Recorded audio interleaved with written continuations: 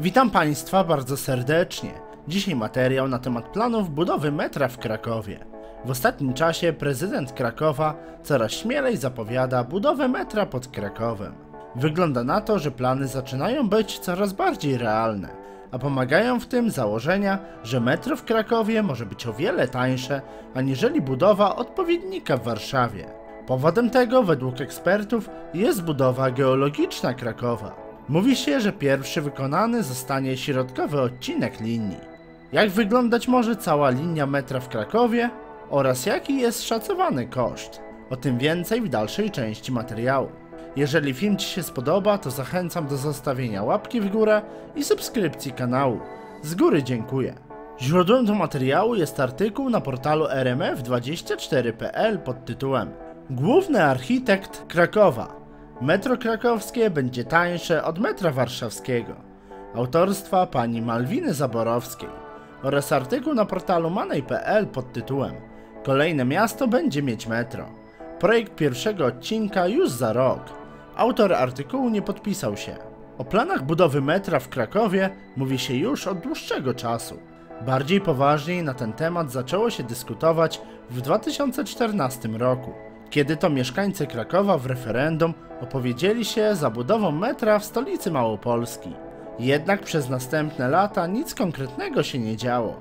Obecnie jest coraz więcej informacji krążących wokół planów realizacji tej inwestycji.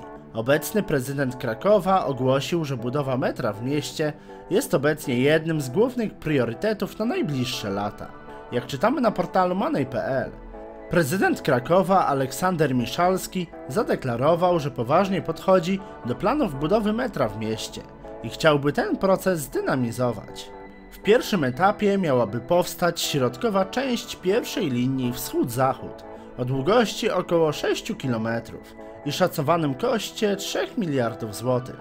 Jak dalej informuje portal money.pl, Prezydent poinformował, że od początku jego kadencji podjęto liczne działania przygotowawcze do inwestycji, a w najbliższych tygodniach planuje powołać radę konsultacyjno-naukową złożoną z ekspertów zarówno z Krakowa, jak i z całej Polski, którzy będą doradzać przy realizacji projektu. Co ciekawe, słychać wiele głosów mówiących o tym, że metro w Krakowie może być o wiele tańsze aniżeli te w Warszawie. Jak czytamy na portalu rmf24.pl, metro krakowskie będzie przynajmniej o połowę tańsze od metra warszawskiego. Ocenił nowy główny architekt Krakowa Janusz Sepioł. Jego zdaniem budowę metra w Krakowie ułatwią korzystne warunki geologiczne. Jak dalej wypowiedział się dla portalu rmf24.pl architekt Janusz Sepioł.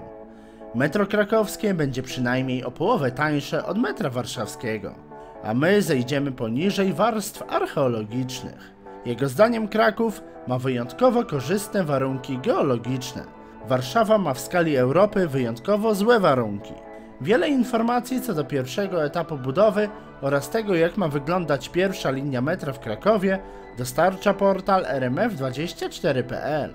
Jak czytamy, według wiceprezydenta miasta Stanisława Mazura w pierwszym etapie będzie realizowany środkowy, liczący około 6 km odcinek pierwszej linii wschód-zachód, biegnący od Ronda Młyńskiego do ulicy Piastowskiej.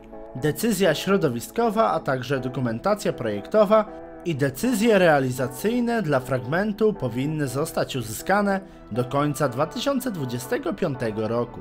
W kolejnych etapach linia miałaby zostać przedłużona na wschód, w kierunku wzgórz Krzesławickich w Nowej Hucie oraz na zachód w okolice ulicy Jasnogórskiej w Bronowicach. Łącznie pierwsza linia ma mieć około 26 km długości i kosztować około 13 miliardów złotych. Tabor ma kosztować około 1,5 miliarda złotych. Szacunkowy koszt realizacji pierwszego 6-kilometrowego odcinka wskazał wiceprezydent. Jest to około 3 miliardy złotych a jego finansowanie ma pochodzić z budżetu państwa, środków unijnych i z budżetu miasta. Według Mazura tempo budowy krakowskiego metra powinno być poniżej średniej europejskiej. Jak widać do budowy metra w Krakowie jest coraz bliżej. Myślę, że jedną z najważniejszych informacji na temat metra w stolicy Małopolski może być to, że raczej będzie tańsze aniżeli metro w Warszawie. Lepiej wydać mniej niż więcej. Jest to oczywiste dla wszystkich. Jednak potrzeba zdecydowanych kroków i konsekwencji. Bez tego żadna inwestycja się nie uda. Widać to po CPK, które zdaje się, że od dłuższego czasu stoi w miejscu. Jestem ciekawy, jak będą wyglądały prace nad metrem w Krakowie. Sądzę, że Was temat ten może bardzo głęboko ciekawić. Mam nadzieję, że podzielicie się swoją opinią na ten temat w komentarzu. Zachęcam też Was do obejrzenia materiałów o planach kolejnych linii metra w Warszawie. Na teraz się żegnam, wkrótce kolejne materiały. Pozdrawiam i do usłyszenia.